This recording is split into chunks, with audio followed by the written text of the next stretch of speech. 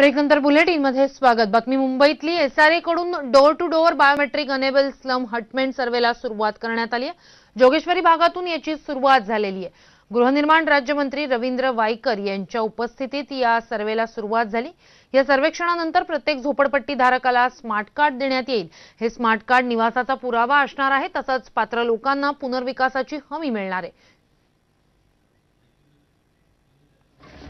या संदर्भातच रवींद्र वाईकर यांच्याशी बातचीत केलेली आहे. आमचे प्रतिनिधी अक्षय भाटकर यांनी.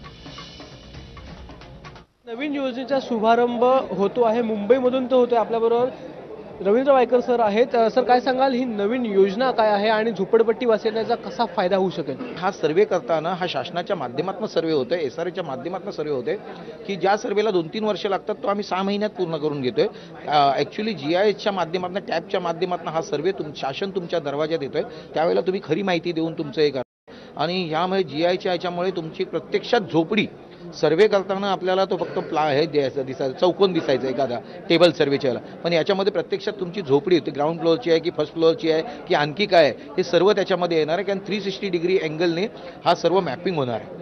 आणि त्यामुळे याचा फायदा प्रत्यक्षात एस आर सुरुवात करताना किती खरं किती खोटं काय आहे सर्व याचं देखील लागणार आहे. आणि हा सर्वे तिथे आता राहत असलेल्या प्रत्यक्ष प्रत्येक लोकांचा केला जाणार आहे. तर धारावीमधला देखील मागे सर्वेअर आपण नेमले होते कन्सल्टंट नेमले होते. परंतु त्याने झोपडे किती आहे ते धारावीतले सांगू शकला नाही. पण याच्या माध्यमातून सांगू शकतो आपण धारावीमध्ये किती झोपडपट्टी आहे. कॅमेरामॅन नितेश अक्षय भाटकर मी मराठी मुंबई. राज्यातल्या आणखी काही घडामोडी पाहणार आहोत थोडक्यात.